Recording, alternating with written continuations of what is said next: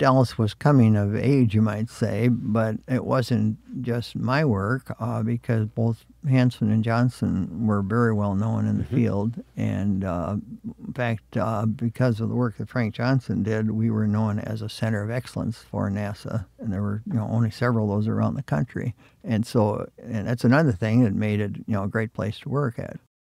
Normally, our students are just working on algorithms and the mathematics. The ability to cross over to maybe history and preservation was something that they really weren't used to.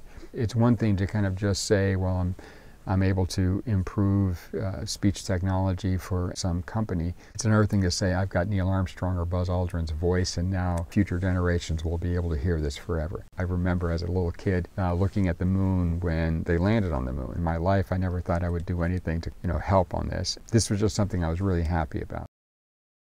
It turns out just before I decided to propose to my wife, we were in in an English pub in 1969 when they landed on the moon. The landlord brought an old TV out of the, his back room and put it on the counter.